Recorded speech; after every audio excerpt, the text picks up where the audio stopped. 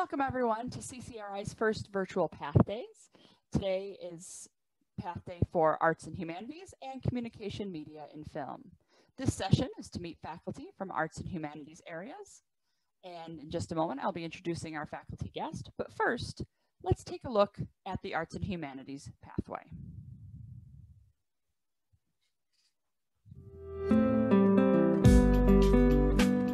You are inquisitive, inspired, and creative. You are a thinker, a historian, a writer, pondering where we've come from and where we're going. You enjoy engaging others, learning about their culture, and communicating with them in their own vernacular.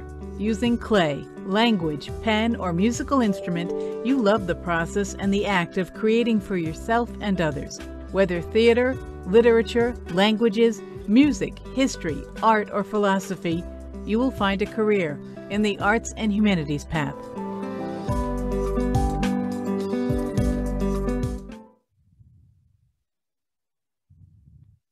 Now I'd like to introduce Professor Beth Anish. Beth, thank you for being with us today. Thanks for having me. Glad to be here. Yes. And you're a professor in the English department. Yeah. And so tell me, what classes do you teach in English? I teach writing classes and literature classes. So I teach the college writing, which is English 1005, English 1010, which is composition one, and then a, at least four literature classes, intro to lit, readings in the short story, multicultural American literature, and I've taught the um, literature of imagination and fantasy class a couple times too. Great, thanks for that list. Now, what programs are those classes a part of at CCRI? So it's kind of an easy question and a big question for us because the English courses are required for every program at CCRI, the writing classes especially, um, depending on your placement. If you place into English 1010, the Comp 1, then that might be the only English class you take for, for certain associate's degrees, but it is usually required. Uh, English 1005 is the one right before that, so if you place into that, you'll need to take that class and it also counts as a humanities elective, which all of our literature classes count as humanities electives as well, and upper level writing if you choose to go beyond Comp 1. So they're all over the place, um, some required and some elective in most programs. Thank you. What drew you to teaching in, in this field, in English writing and literature? Well, I was an English major as an undergraduate. I'd say going back much further than that, I always loved reading and writing since I was a little kid. So it's always been kind of my natural inclination. Um, my favorite class always was English um, since high school, I would say. And just, I did a few things first before I came to teaching. I actually worked in college career services and admissions and in those roles was using my writing skills and um, communication skills, presentation skills, all of which come from taking lots of classes that have to do with communicating and reading and writing. Now, speaking of each of those courses, since it's everyone in the whole college essentially, what attributes do students who are successful in your courses share? Well, some of them do love to read and write already coming into the classes, but that's not necessarily uh, a prerequisite for for our classes or for doing well at our classes. I think um, more so it would be students who are willing to take the time to read closely, to do all their reading assignments, to um, not just like write a paper the night before it's due, but to think about um, pre-writing and drafting and revising and all the things that we teach in our college writing and composition courses. Uh, so it's really about time and effort. And I think some students do say to me, oh, you know, I was never good at English and that kind of thing. But if they're willing to take the time um, to put in the work, they usually do just fine and sometimes surprise themselves with um, how well they can do in an English course. Now, you mentioned that writing courses are part of just about every major, if not every major. Why mm-hmm. should students in every major take writing courses? Well, as you know, just we were just talking the other day about some of the uh, attributes that employers want to see from our graduates and communication skills, writing skills, critical thinking skills, all of these things are part of our classes. They're what we do. Uh, so having students and then CCRI graduates who are ready to go into the workplace and can communicate effectively, uh, can think about problems in, in critical and analytical ways, uh, you're, you're already off to a good start if you can do those things. So in writing classes, um, we're teaching you how to construct an argument, for example, and how to look for evidence to support your position and how to string all that evidence together in support of a position, uh, how to clearly write your sentences to communicate your ideas. So you need this no matter what field you're in. Um, and even beyond those things, I think ways of looking at the world, um, our literature classes, you know, we take on issues of gender and race and um, all sorts of hot topics that are covered in stories that can be a few hundred years old even. You know so we're always looking at these things and analyzing how do we find ideas in a text how do we support that? That crosses so many different career fields that um, we in the english department think everybody should take literature classes as well um, to help them develop those critical and analytical skills now, let's speak specifically about those humanities, especially literature courses. Mm-hmm. Um, so, what what exactly does um, a humanities course, especially literature course, add to say a STEM student's education? Well, that's a great question. And I do think it's that different way of looking at the world. You know, a STEM student is looking at conducting research in a certain way and running experience, experiments maybe and using data to back up what um, their conclusions are.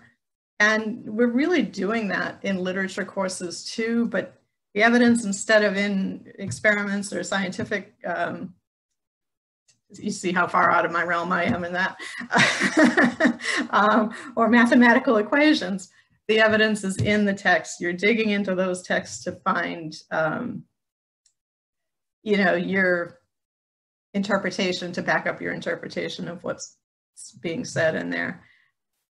And again, I think a STEM student, a STEM graduate, even if that person's working in computer science or wherever else, is going to have to interact with people.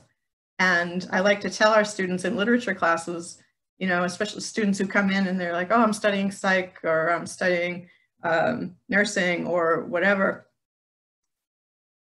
where, you know, they're characters, they're fictional on a page, right? But they have real human attributes that I think we can kind of almost hone our people skills by thinking about what motivates people, why people behave the way they do. Uh, so I love to look at that stuff in literature as well. And I will say I'm married to a STEM person. My husband's in computer science.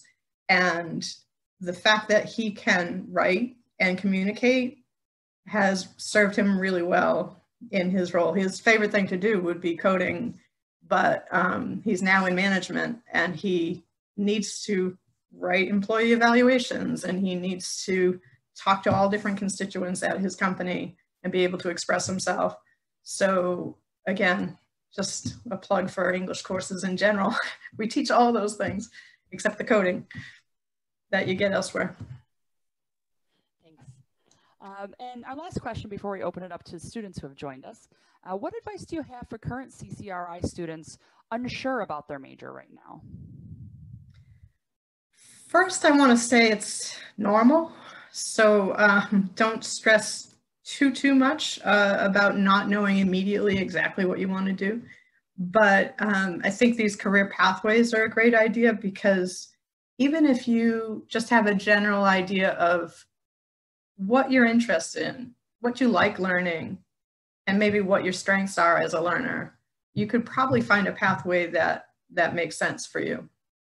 So um, beyond that, I think talking to career and academic advisors is important. You know, maybe and Jess probably knows more about this than I do, what's available at the college in terms of like skills and interest inventories and that kind of thing um, to help you start to maybe narrow that down. But I think a good place to start is what you like. Um, I have a daughter who's a freshman in college right now and a son who's a senior in high school, and they're both kind of exploring these things too. What's been their favorite classes? Um, you know, and honestly, my daughter's going in like four different directions at the same time, and she's just trying to figure out how to put all these things together that she likes.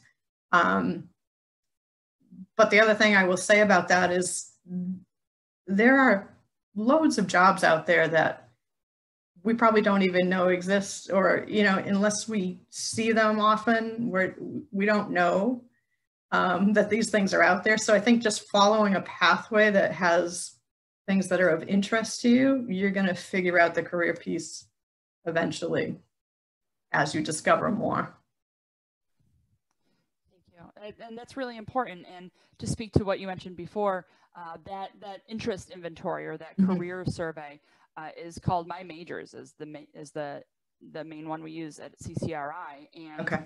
on for the students in here as well, on the virtual path days page in the on-demand library, we actually have a link to My Majors and a link to a tutorial video specific for CCRI and how we use that assessment and how our career coaches and our career services office uses that to help guide students toward that. And Great. a little later today, uh, we'll be hearing from them about my majors and Handshake and the virtual job fair as well. So nice. something like a virtual job fair is nice to attend because then you can just find out, you know, you don't don't necessarily need to apply for anything while you're there, but you can find out what all those jobs are. Um, and like you said, there's so many jobs that exist and we don't even know them yet. Um, right. You know, and, and, tomorrow there will be more jobs that there weren't today. so everything keeps expanding, and um, whoever would have thought that you know contact tracing for a pandemic yeah. level virus would be would be a viable career option right now. But right. it certainly is. So things change every day. Yeah. So I just wanted to open up uh, for uh, the students who have joined us here. Uh, see if you have any questions for Professor Beth Anish and you're welcome to take yourself off of mute or post in the chat.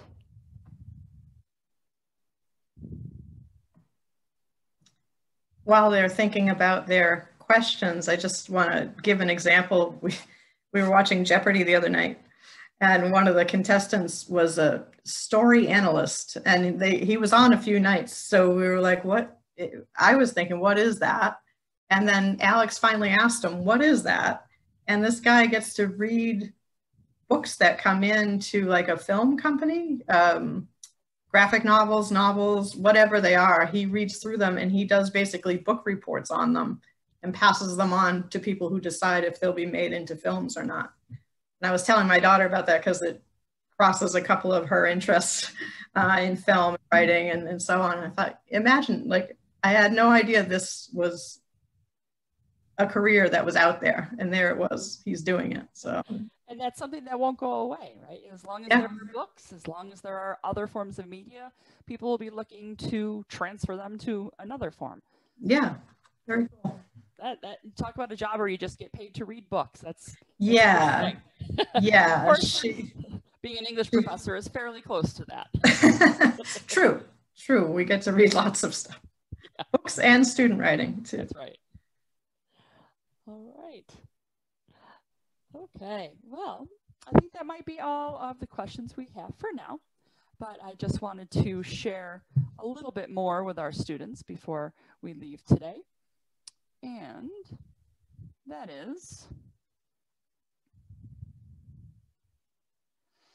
uh, that you can learn more about arts and humanities and all of our academic and career paths at ccri.edu slash pathways. And there is also a virtual job fair coming up, hosted right online on Handshake on Thursday, November 12th, 2020, from 10 to 1 p.m. And just like with my majors, Handshake There are tutorial videos and a link to the website for Handshake in the on-demand video, the on-demand library that is associated with Path Days that you can find through the same links that got you to this session today. And just a little later today at 2.30, we will hear from Career Services and a little bit more about these two events as well. But Professor Anish, I want to thank you very much for being with us today. And I would like to wish everyone a very good day. You're welcome. Take care, everybody. Take care.